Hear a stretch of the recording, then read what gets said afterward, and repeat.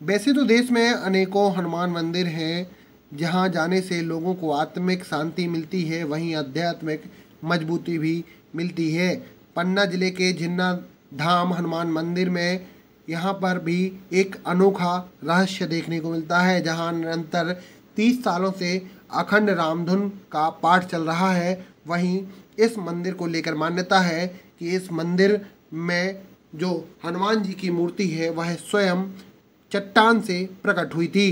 पन्ना ज़िले के अजयगढ़ तहसील स्थित जिन्ना धाम हनुमान मंदिर में लगातार तीस साल से अखंड रामधुन का पाठ चल रहा है। चौंकाने वाली बात यह है कि यह मंदिर घने जंगल, पन्ना टाइगर रिज़र्व में स्थित है और यहाँ पर लगभग इक्यावन गाँव की मंडलियाँ लगातार आकर रामधुन का पाठ में भाग लेती हैं। इसके अलावा इस मंदिर में रहने वाले बुज़ुर्ग साधु संत भी लगातार यहाँ पर रामधुन के पाठ में लगे रहते हैं। जिन्ना धाम हनुमान मंदिर से अनेकों चमत्कार भी जुड़े हैं। यहाँ पर जो हनुमान जी की मूर्ति है, वह स्वयंभू हनुमान है और यहाँ पर जो मूर्ति है, वह चट्टान से प्रकट हुई है।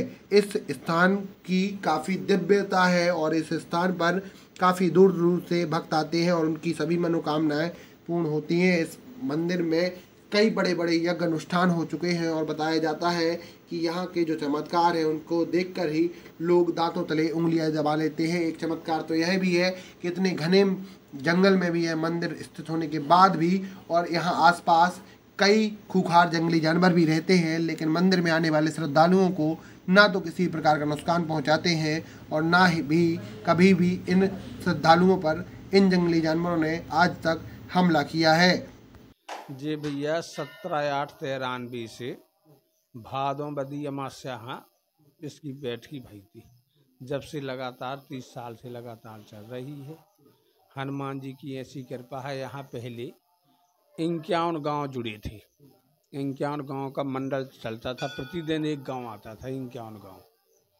और हनुमान जी की ऐसी कृपा है कि आदमी जो भी मनोकामना करा तो वो पूरी हो और पाँच बार यहाँ बड़ी बड़ी यज्ञ हो चुकी।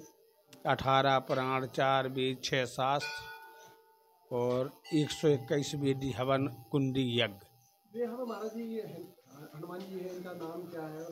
ये झन्ना धाम हनुमान जी के नाम से प्रसिद्ध हैं ये निकली भाई मूर्ति है। इसमें स्थापित मूर्ति नहीं है, ये निकली भाई मूर्ति है। इस चट्टान से जो अपनी है इसी चट्टान से उभरी भाई मूर्ति है। यहाँ तो बहुत दूर दूर के वो लोग आते हैं अपना पन्ना छता पोछ लगा के बम्बई तक को दिल्ली तक को आदमी आता है चित्रकूट सबरे के आदमी आता है।